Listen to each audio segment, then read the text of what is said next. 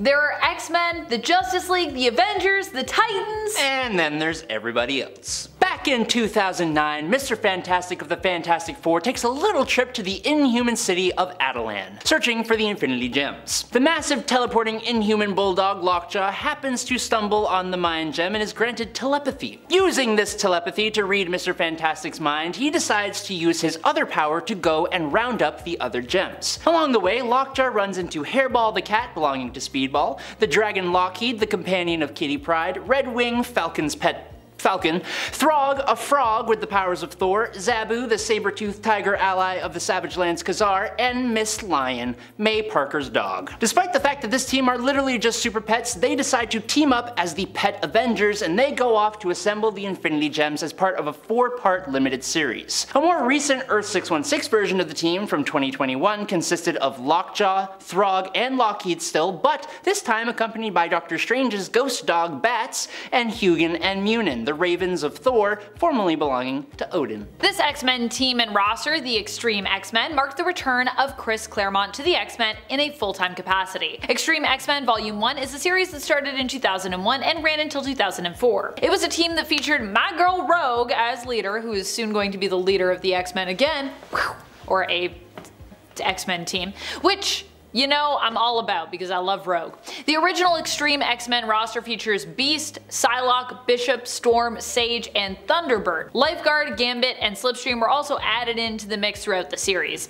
This team was originally brought together to find Destiny's premonition-filled diaries, but of course along the way was distracted by many other imminent threats as happens when you're an X-Men team. There have been several incarnations of the Outsiders in DC Comics, and most have been Batman or Batman family related, with one team even being led by Nightwing. The first ever version of the team came in 1983 after Batman gained a rather uncomfortable standing with the Justice League. The team had some notable moments, particularly because of its new characters like Katana and Geoforce. Batman and the Justice League would patch things up, and so he left the team to continue operating without him. During that time, they were operating in Markovia in order to receive funding and then moved to Los Angeles before they reunited with Batman and gained access to a Los Angeles Batcave. The last version of the team came following Batman Rip in 2008 where Alfred put together the team with each member representing a part of Batman's legacy, but obviously Batman actually never really bites the dust permanently, so that didn't really last. Capes Inc is a superhero team, or really a superhero agency I guess I should say, from the same world as Invincible.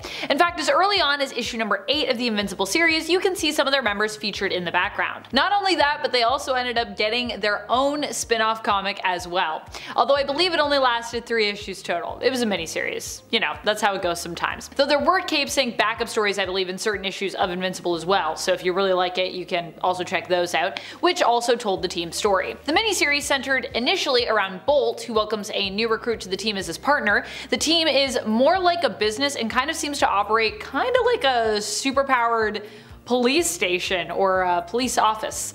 People even get paid and everything. Kid Thor is the new kid in town who joins up with Bolt. Bolt, we learn initially wanted his name to be Black Samson, but obviously that name was already taken by um, the Guardians of the Globe members, so alas, it was unavailable when he joined up with Capes Inc, and that's why he's Bolt. The team known as Force Works was formed by Iron Man, who had left the Avengers due to a dispute as to the role of superhumans. Force Works maintained the outlook that rather than being a reactionary force, they should try to preempt both natural and man-made disasters. The team was initially composed of Iron Man, US Agent, Spider-Woman, Julian Carpenter, Scarlet Witch, and Wonder Man, which in my opinion is such an interesting group of heroes. But by the end of their first mission, Wonder Man was thought to be deceased at the hands of the invading Kree, and shortly after the alien Sentry took his place, only to be completely forgotten when the team disbanded. The team fought in several skirmishes, but really only lasted about two years. The characters were mainly reabsorbed into the ranks of the Avengers afterwards. I like to refer to this next one as the other XSE team.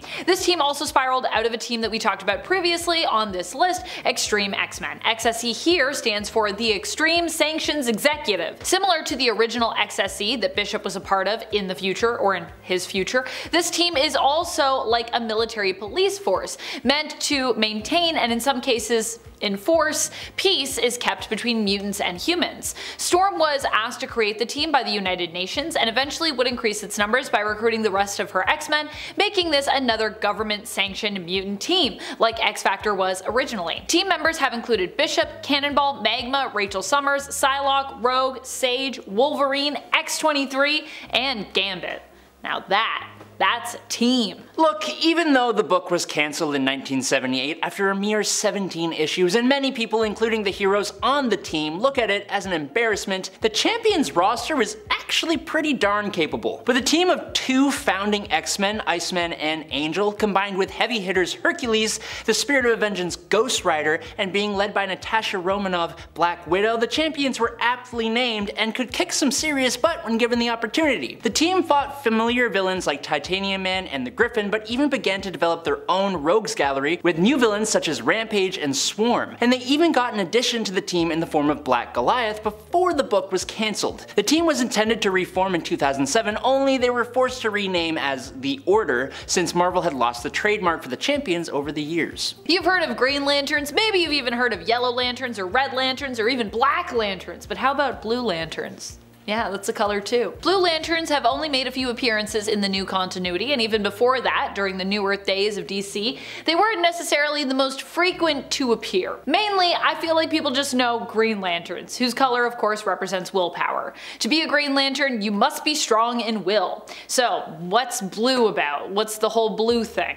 To be a Blue Lantern, you must be full of hope. So beautiful. I feel like I could be a Blue Lantern, honestly. If Green Lanterns are like the intergalactic police, Blue Lanterns are like therapists or peacekeepers or mm, priests maybe. They have long been allies to the Green Lanterns and their powers actually provide a boost to fellow Green Lanterns when they're nearby. Pretty cute. This is because their whole focus is of course on belief and hope, having faith in those around them. As such, many of their names start with a title like Saint, Sister, or Brother. I'd definitely be Sister. Sister Amanda, Blue Lantern. Sister McKnight. Kind of like the champions, DC's Detroit League is another team that gets a real bad rap, but actually has a pretty stacked roster when you take a closer inspection. After Aquaman, a charter member of the original Justice League, decided that the Justice League members were too interested in their own individual problems to be part of an effective team, he used his position to disband the team and establish the Detroit League. This new team with half old-timers and half newbies was largely used to add some diversity to the DC heroic lineup, whether it achieved that or not is up to the reader. Made up of League mainstays like Martian Manhunter, Aquaman, Zatanna, and Elongated Man, along with newbies like Vibe, Gypsy, Vixen, and Commander Steel, it's often considered the worst roster of the team, but if you actually look at the roster and do some critical thinking, you'll find that it's very powerful indeed. Martian Manhunter and Zatanna alone are absolute powerhouses. Despite the jokes, Aquaman or even Commander Steel both make really effective tanks, and the rest of the team is quite capable in a variation of different situations. The God Squad is about as powerful as they sound, but they still remain one of the lesser known teams in the Marvel Universe. The team was originally assembled by the Council of Godheads, and first came together during the events of Secret Invasion. The team first formed in The Incredible Hercules issue number 117 in 2008. The original roster included Adam the Demogorgon, Snowbird, the Eternal Ajax, and Amatsu Mikaboshi, later known as of course the Chaos King.